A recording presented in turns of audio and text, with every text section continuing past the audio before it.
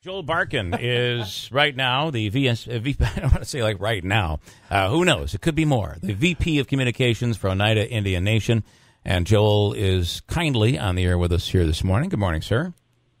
Morning to both of you. And thanks for uh, waiting. We had the congressman in who it's the first time he's really spoken out since since uh, leaving office um, back uh, in November, or I guess leaving office at the end of the year. So, your thoughts on everything that's going on? I, I really wanted you to come on and talk about this potential investment in uh, in Utica. Let's start with that. Uh, the casino sure, and, downtown. and before I even start there, I just uh, want to wish you and, and all your listeners a happy Memorial Day. Um, you know, this is a for the Oneida Nation a, a very special holiday, and I think not everyone recognizes or, or knows this, but there has been an Oneida member that has fought in every American conflict since the founding of this country, and is a, a holiday that is deeply personal and deeply meaningful to the Oneida people. So I wanted to just start there, if that was okay. As uh, uh, as Ray Halbritter says, um, they're uh, they uh, the Oneidas, our first ally,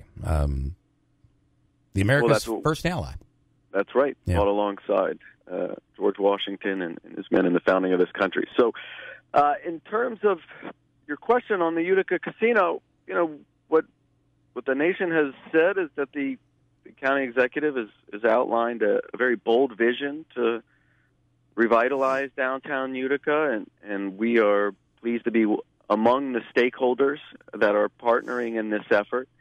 Uh, and if it is to go forward, uh, the nation is committed to being a partner and investing $50 million in this project. So uh, we are uh, deeply committed and, and think that the county executive's vision here is right. And I think you know, the nation now has 20 plus years in the tourism industry. And the one thing about tourism that I think from our experience that you know Ray Halbritter and, and nation leadership has constantly tried to make clear is that you know, it is an evolving industry. If you are not constantly making changes and upgrading and offering new types of opportunities, services, etc., uh, you will be passed. And I think what the what the county executive is is saying here is, is we need to be bold. We need to re reinvent and rethink about how we present downtown Utica, and this is a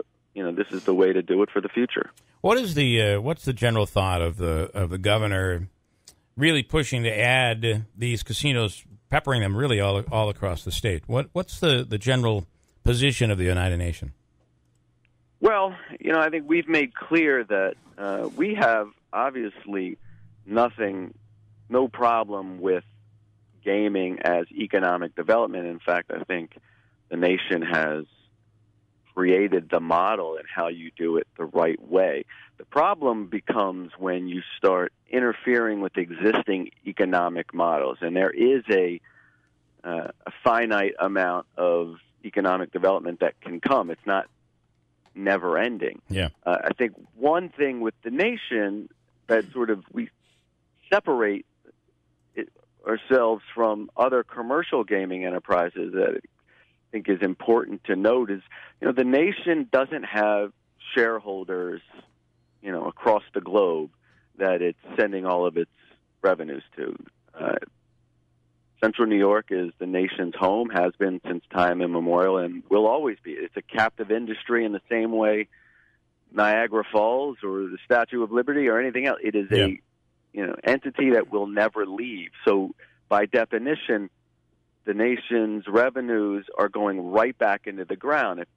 It, it, is not an accident that you see, you know, the sprawling campus of Turning Stone, the uh, our new Maple Leaf Market, Save On, um, Yellow Brick Road, all being within the same Central New York location because uh, that is where uh, the nation's homeland is Yeah. and forever will be. And it's not go- we're not going to start investing in building properties in Georgia just because uh, they might be more financially advantageous.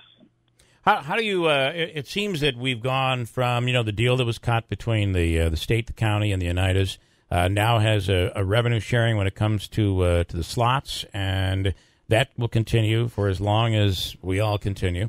Um, Right. There seems to be an improvement. Would you say that once we get this behind us, you can now move forward to try to promote the area, which is really what the county executive really is trying to push right now. Yeah, and I think any objective look at the uh, post settlement can only lead to you know you coming to the conclusion that it has been a net positive for the region. And you know, one of the things the nation had said for many many years leading up to the settlement was that we were just caught in such negativity and that if we could align stakeholders, bring people together, and that's really what Tony Picente was saying. We saw Madison County come to the table, the governor, that we could work together and put forward a positive economic vision rather than having to constantly stay in this back and forth uh, fight of you know, who was right, who was wrong, and we so we've moved past that. We've seen you know ten, tens and tens of millions of dollars get invested through both revenue sharing payments and uh, and just general economic development, uh, nation investments into the region, like some of the ones that you know we've already talked about this morning. Yeah. So that that is a, a a real welcome change, and I think the region has seen that and uh, and hope that we can keep building on it. Comment on the, uh, if you could, on uh, on Madison County.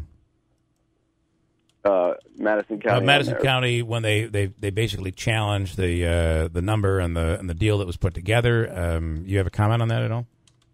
No, I mean that was between the state and and Madison County. So you know, we really, you know, I think the one thing we've said over and over is that what the settlement showed is that when people come to the table and we negotiate in good faith, uh, that we can deliver real results, and that's what the settlement, if anything, created a model for.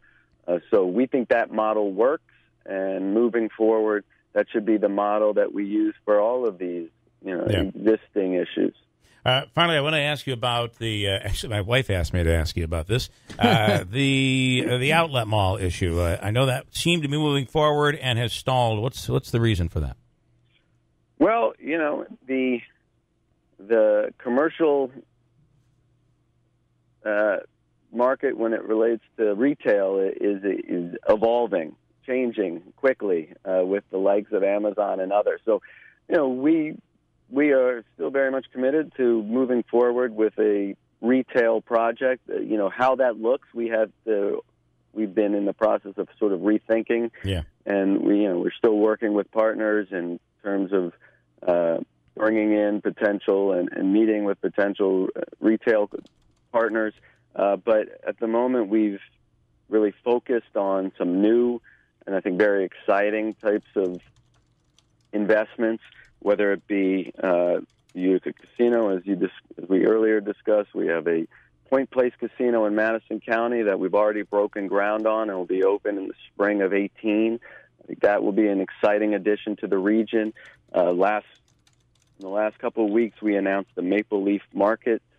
It's a new chain of uh, convenience stores that we will be rolling out throughout the region. And it's uh, uh, we'll have grab and go meals, and it's really uh, what we're calling it's a food first and then uh, convenience store type model, which we're very excited about. And I think that's it gets to what where we started this conversation is that you know with the nation, its track record has always been that you cannot just settle and think that if you're not reinventing, if you're not reinvigorating, uh, that that results will continue to be the same. So Yeah, that's yeah. that's really where a lot of our focus has been and, and will be moving forward. I got to tell you, you you do have to wonder driving by the Kmart uh, Plaza in uh, in New Hartford. As of course, it's uh, it's all closed up, and you think of other places that haven't been these big real t- retail locations that haven't been filled. You do wonder where are we going in retail, um, especially with the world of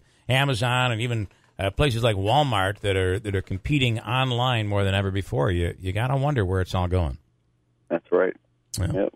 Uh, Joel Barkin, uh, we appreciate your time. Give us an update. Uh, and of course, it's going to be very interesting to see how this progresses downtown. The models are out now to see what it would look like um, with this uh, influx of an entertainment sports district, and and as you said, fifty million dollars being invested by the Oneidas, if that were to happen. Thank you, Bill. Appreciate, Appreciate your time.